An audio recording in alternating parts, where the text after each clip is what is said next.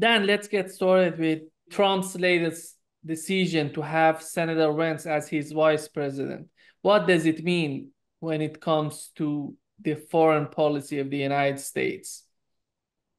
Well, I guess the possible positive is it seems like he wants to stop funding Ukraine. Um, he thinks that's a lost cause, um, which Trump seems to think so as well. So maybe that's a positive. And I only say maybe because, you know, Trump said positive things about Russia in 2016, and then he really didn't do anything positive towards Russia. So it's hard to take these guys at their word, but maybe that's a bright spot.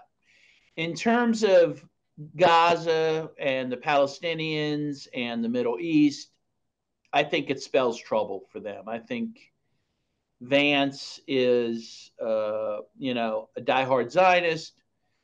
He's already said, you know, they have to be tougher on Iran. Seems like he may even want a war with Iran. So, in terms of that, not good. And in terms of China, not good. I mean, a lot of people have said, look, you know, it's kind of pick your poison. The Democrats want Russia and uh, the Republicans really want to go after China. So, I mean, I wish we had a choice here um, of a peace candidate, but we don't have one. We have a choice between wars. Which war do you want? Uh, and in terms of the, the war on Gaza, it seems like it doesn't matter who, who you vote for, Trump or Biden, you're going to get that war. So it's it's not good. It's not good at all. Actually, you do have a chance to vote for Jill Stein. and I will. Believe me, I will. And a lot of people will. But the truth is, you know, she might get 1% of the vote, 2% maybe. Um, that's just a reality. But yes, it's good that we can vote for her. I will vote for her but we have a duopoly, right? We have a really a two party system that's pretty um, entrenched. Unfortunately, um, like uh, Jill Stein won't even get on all the ballots. In fact, I think she did not get on the New York ballot, you know, which has so many electoral votes, and probably won't get on the California ballot, which is very hard to get on. So that means that, you know, she's in the end, even if everyone who wanted to vote for does, and you know, she doesn't have a chance. Is the truth? Yeah. You talk about the conflict in Ukraine and how maybe Trump wants to bring an end to this conflict. So recently you were in Russia, if I'm not mistaken. In Lugansk, yes. Yeah. How did you find the situation there, and how do you see the current phase of the conflict in Ukraine? Well, I have a few observations. In terms of Russia, kind of proper, for lack of a better word, you know, I was in Moscow, and and Moscow's normal, seems normal. People don't seem impacted by the war much. But you know, while I was there, there were you know uh, Belgorod continues to get hit constantly. There were some terrorist attacks within the heartland of Russia. You know, whether the West is behind that, we don't know, but I wouldn't be surprised. In terms of Lugansk, uh, where we were at, we stayed within the cities, including you know Lugansk city. Um, and those are you know mostly okay. You know, there are definitely buildings that have been shelled by Ukraine recently, but Lugansk is not getting, you know, hit like, for example, Donetsk is. We did not go to the front line of Lugansk though, because that that was very hot while we were there. In fact, it was possible we weren't even going to get to Lugansk at all because of because of fighting. So um, the point is the war is still raging in uh, between Russia and Ukraine, and again, it is bleeding into the Russian heartland with some of these terrorist attacks.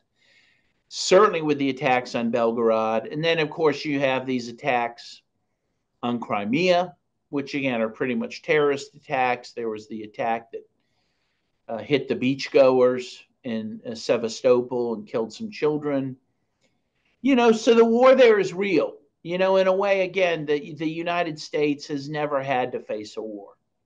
You know, we've we've we've been hit by, you know, kind of terrorist attacks, Pearl Harbor, 9 11, which are bad, but, you know, they're not sustained in any kind of way. But Russia's now starting to feel those sorts of sustained attacks from the collective West. Yeah. But do you find it that NATO is getting to the point that the conflict is not affordable for them, or they don't have any sort of chance as long as we have Biden in office and the Biden administration running NATO? Yeah, it seems like the U.S. under Biden will continue to push this war. That's very clear. And while you're starting to see Europe fray a bit with the left winning in France, course, you have Hungary and Slovakia wanting peace with Russia. Those are all good things. Um, I think in Great Britain, the vote for Labour was a vote, uh, some ways, for peace, though I don't think Labour is going to give it to them, again, in the same way that the Democrats won't give us peace. But you're seeing the will of the Europeans moving certainly against the war. And that's a positive development. How did you find this failed assassination of Donald Trump? It was a little guy who came out of nowhere just shooting at Donald Trump. How did you find it? Well, I want to be very measured in my response because, you know, there's a lot of conspiracy theories flying. But what, what I will say is that there are a lot of troubling facts around that attempt there are huge questions as to how that young man got up to a roof that was within the line of sight of Donald Trump. In fact, it turns out that he was on top of Secret Service people that were in that building.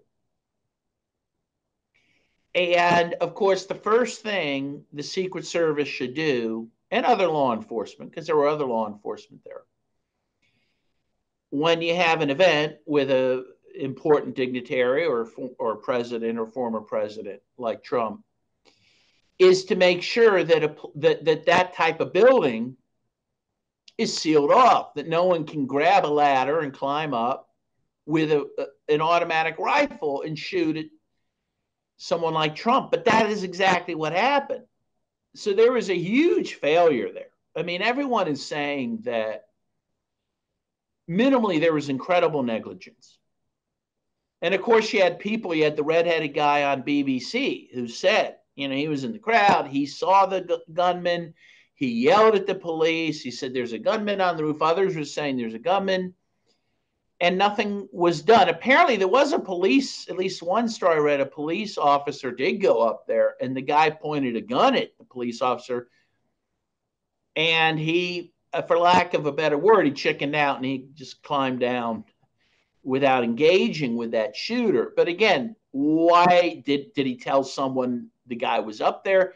So the long and short of it is there's some uneasy feeling people have questions as to was he allowed to get up there?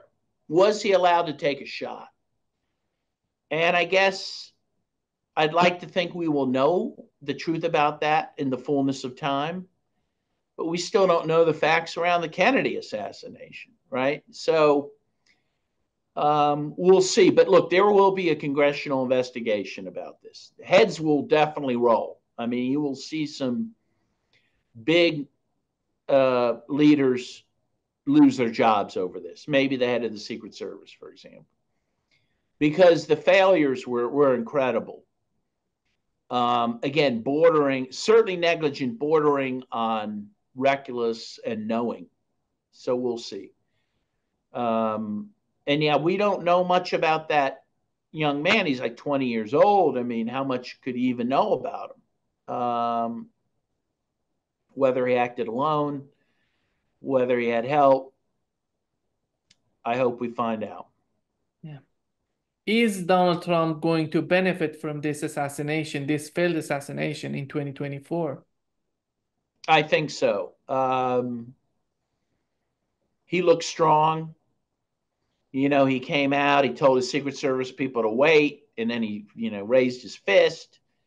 And there's that couple iconic photos of him raising his fist. I think Americans eat that stuff up. I mean, and you compare that to Trump to Biden, who can't put two sentences together.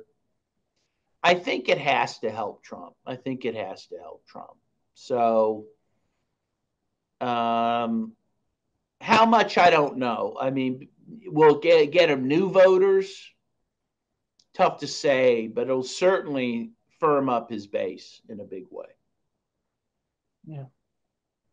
And do, do you think that this would bring those part of Republican Party who are in favor of Romney, Liz Cheney, and these people who are not totally in line with Donald Trump, is that going to help Donald Trump to bring those voters to his campaign? I think it might, especially depending on how he reacts to it. Apparently, he's changing his speech for the uh, you know Republican National Committee because of the attempt. He's going to be more conciliatory. He's going to talk about national unity, and that may help him. That you know that is as much as the attempt might help him, the response will be critical to him.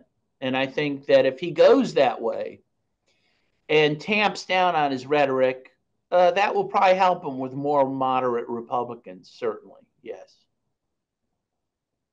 The other dimension of the Trump administration, if he wins, would be the, their policy in Gaza. Right now, how do you find the situation in Gaza? It's horrifying. It's getting worse by the day. Um, I am very saddened by it. I have friends there I'm in touch with. One of my friends, her name's Ola, she's moved several times in the last week to avoid bombardment. Can you imagine living like that? I mean, you're you're literally not living anywhere. You're literally just running. And can you imagine if you had children or, or parents or grandparents and doing that? And there's the food is is is is all but run out. The water is run out. Famine is setting in. I mean, it is. It, you know, they keep saying, "Oh, they're on the verge of famine." No, they've they, they they've crossed the Rubicon into famine. And so you have that Lancet report, for example, saying 186,000 people have been killed at least in Gaza. And that's just going to go up by the tens of thousands over the next days and weeks because minimally because of the famine, but also Israel's becoming even worse. I mean, there was that horrible massacre several days ago um, in which they killed at least 90 people in a, a makeshift refugee camp, which was supposed to be a safe zone. I mean, Israel's firing at will at everyone and anyone, and they they just seem to be out of control. I think is a good word. In fact, there's this story that was published, I think by is it 972 Plus magazine, which is an Israeli magazine you know, quoting soldiers say they're just, you know, the rules of, of engagement are they can shoot at anyone at any time for any reason or no reason. And they're just shooting people at times because they're bored. You know, so this is terrible. I mean, uh, and there's no end in sight.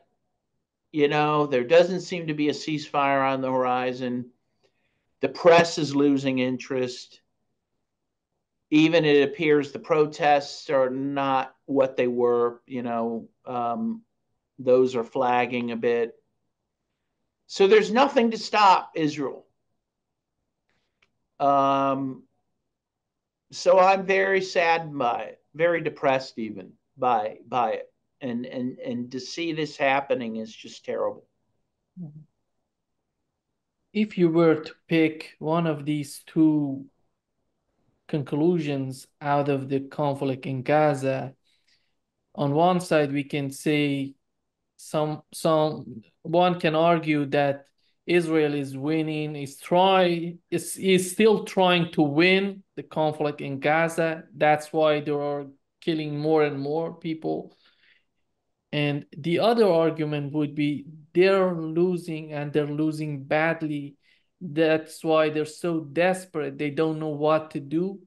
They couldn't kill Hamas. They couldn't remove Hamas. Right now, they're they want to pick a fight with Hezbollah because they know that they have failed in Gaza. Well, which one do you pick? I think in many ways they are. The, the IDF, in fact, wants a ceasefire because they do think they're losing. They're afraid that if they get deeper into a war with Hezbollah, they really could lose everything. Um, so, yes, there's no doubt that Israel is losing militarily.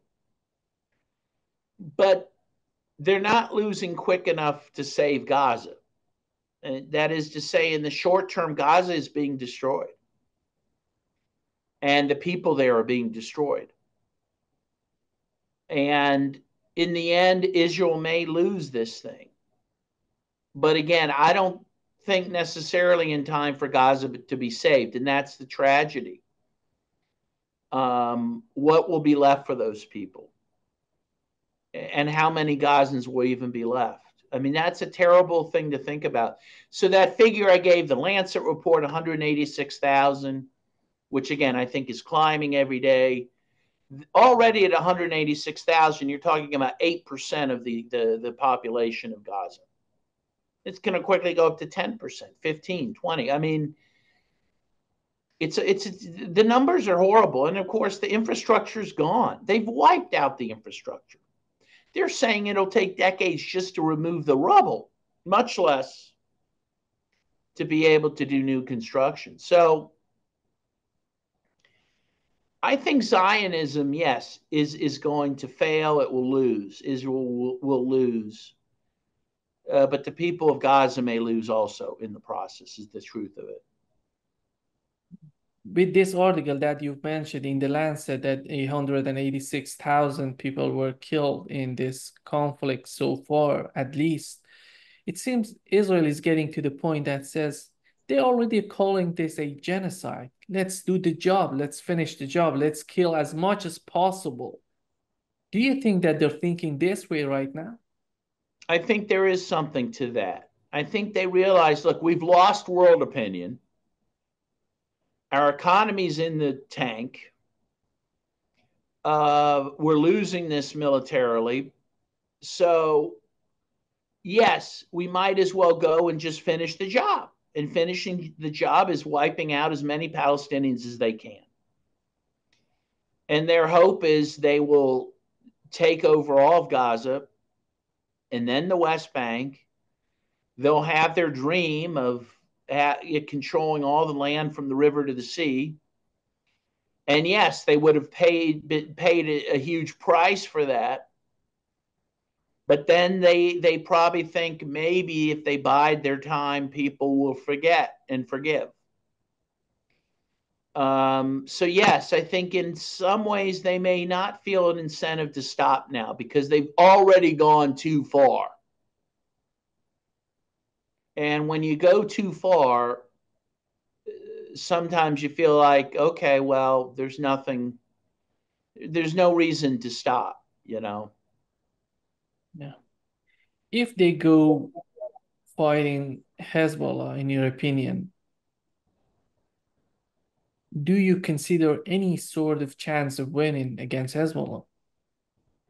No, I think that that's and that's why they have not pulled the trigger on fully attacking Beirut.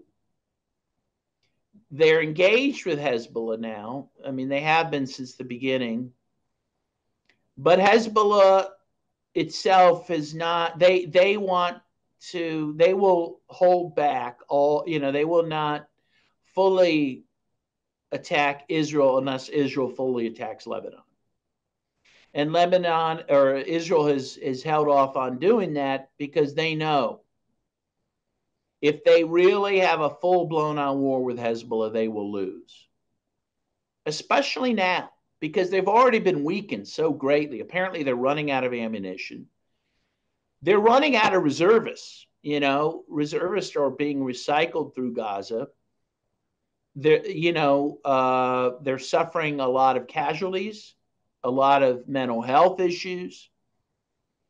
So they've already been weakened greatly and to now go after Hezbollah in a full blown way, I mean, they would lose big time. Recently, I talked with a journalist in Lebanon. He said that this conflict is bringing Shia and Sunni together. Seems that the Muslim world is getting united behind Gaza. Do you think that's the case right now? I think the Muslim people are, yes. And I and, and you know, the whole Shia Sunni conflict is a manufactured conflict to begin with, right, by the West. So it's not surprising that the Muslims are overcoming that to come together to support Palestine. But that's the people. The governments haven't quite gotten there, right? Egypt is still really acting in ways that are helping Israel at this point, um, even to the point of hurting themselves. Right? Israel's violated the uh, Camp David Accords by taking over that, what is it, the Philadelphia corridor um, in Gaza. That they're not supposed to do that under the peace accords with Egypt, but they've done it. They've shut down the border with Egypt entirely this could be a cause for war. I mean, this could be a cause for Egypt to say the Camp David Accords are done. We're because you violated them, um, but they haven't done that. And a number of Gulf states are still, you know, economically supporting Israel. Um, Turkey, you know, is still they they they're definitely ratcheting back support for Israel and economic ties and all that, but they still haven't fully broken, um, you know, off ties with Israel. So again, the the people are firm in in the camp of Gaza, but the governments are not. The governments don't represent the people in that way. And some of those governments may fall over this, particularly the one in Egypt. It seems that the conflict has changed the face of the Middle East right now. When, when we see Erdogan wants to talk with Bashar al-Assad, Bashar al-Assad invited to the Arab League, Arab League just dropping the designation of Hezbollah as a terrorist organization. And these are huge changes that are happening right now. And do you still believe that the governments in the Middle East don't understand what's really going on in Gaza? I think they understand, and I don't think they like it. The problem is a number of the governments are still very beholden to the West economically. Again, particularly uh, Egypt and Jordan. I didn't even mention Jordan, but both of them are very highly dependent on aid from the United States. And uh, the governments, as they are, are afraid to risk that aid to really support Gaza in a, in a full throated manner.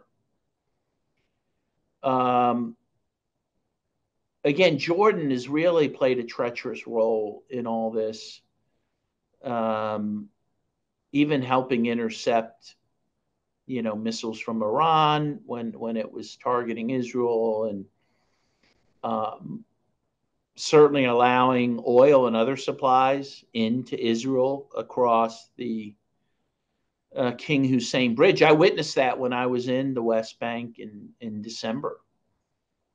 And all, you know, there were oil trucks lined up going into Israel. They all had Arabic lettering on them, you know.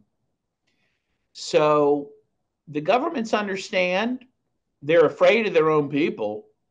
They're afraid that, that this will lead the people to overthrow them again in countries like Egypt and in Jordan.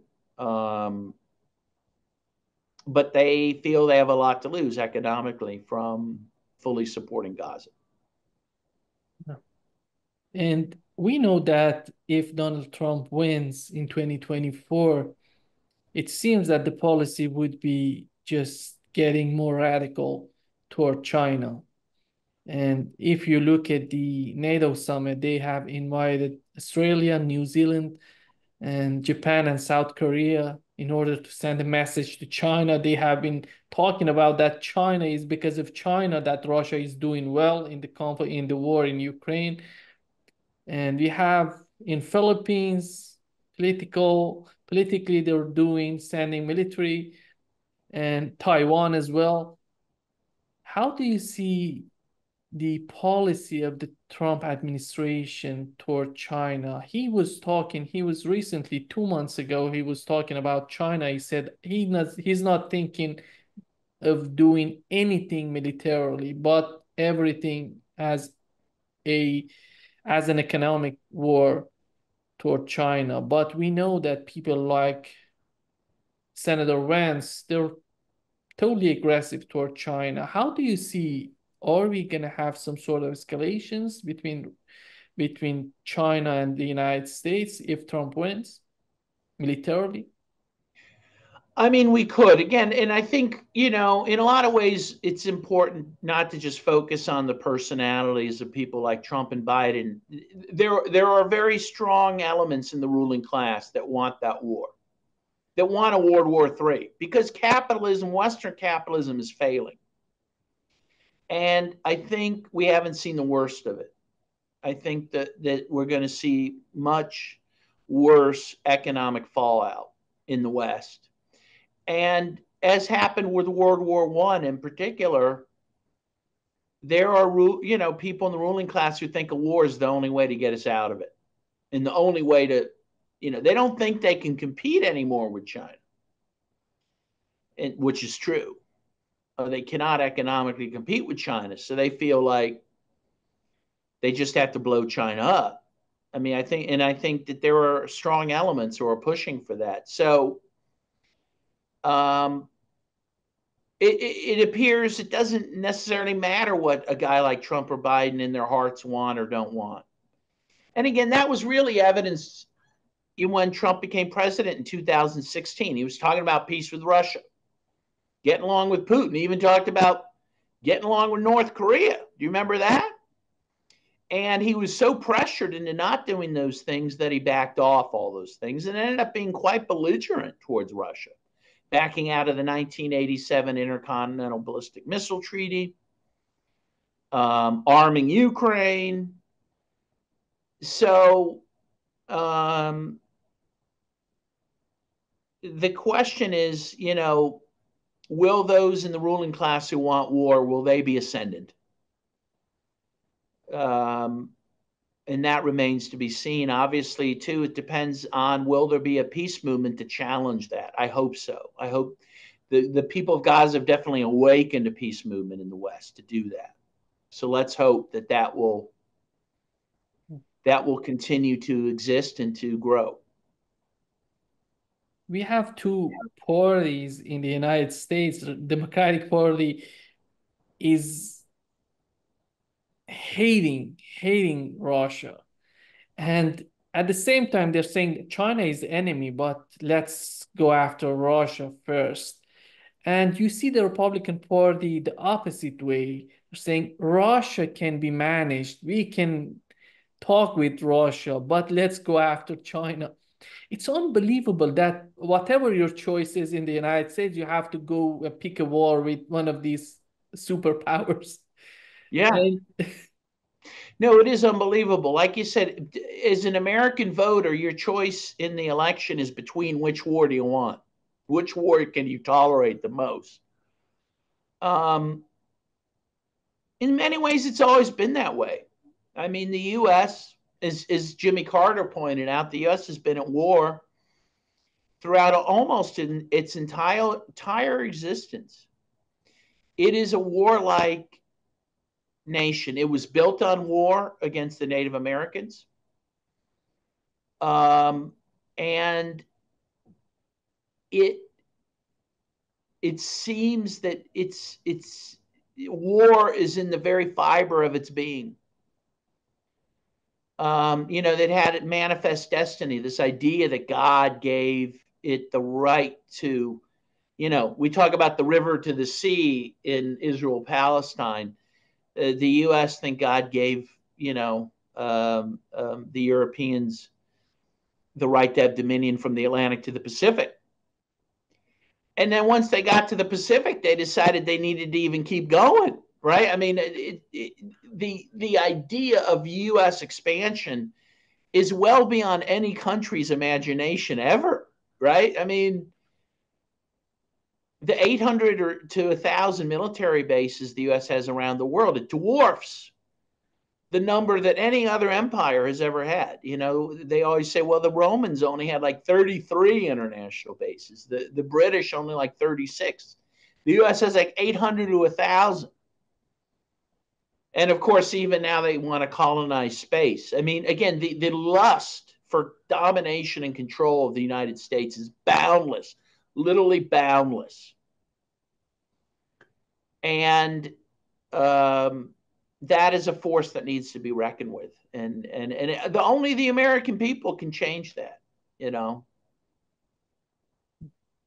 and just to wrap up this session then do you think that with the new political changes that are happening right now in europe are we going to have any sort of powerful movement in europe that could influence the policy of the united states in Ukraine or even in China, we know that European Union is not happy with the policy against China as well.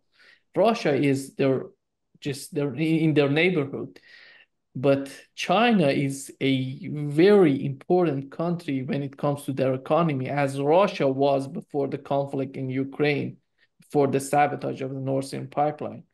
How do you see this new movement in Europe, and how is it going to influence? the policy of the United States or NATO? I think I'm not sure that they can influence the United States, but I do think they can influence NATO. I mean, I think they, in the influence they can have is to destroy NATO. I mean, I think it's in their self interest. It's in Europe's self interest to destroy NATO, to get out of NATO. Uh, because NATO is nothing but a, a mechanism for the U.S. to dominate Europe and to destroy their economies for the U.S.'s own benefit. We see that with the cutting Europe off from Russian natural gas, which Europe desperately needs for its economies, right? None of this is working to the benefit of the Europeans. And so I do think that ultimately, I hope sanity will prevail and Europe will decide, look, we got to go our own way. We got to we got to go away from the U.S. This is not helping us, and that they will break ties with NATO ultimately, and that NATO will be gone. That has to happen. Um, it has to happen for world peace, but but again, it has to happen for the Europeans' own survival and and prosperity.